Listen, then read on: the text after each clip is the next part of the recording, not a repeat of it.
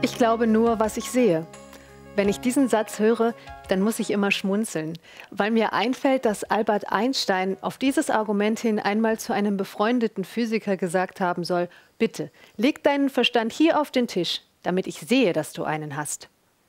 Ich glaube nur, was ich sehe, das ist kein besonders sinnvolles Argument.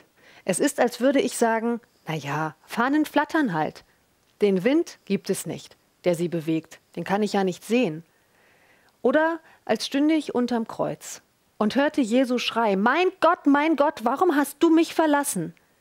Und würde nun meinen, Gott hat die Welt im Stich gelassen, weil mit Jesus auch der letzte mögliche Beweis von Gottes Menschenliebe stirbt. Aber Gott ist da. Und im Schrei Jesu klingt das ganze Leiden der Welt, die nur glauben will, was sie sieht. Auf diese Not hatte ein alter, blinder Christ folgende Antwort.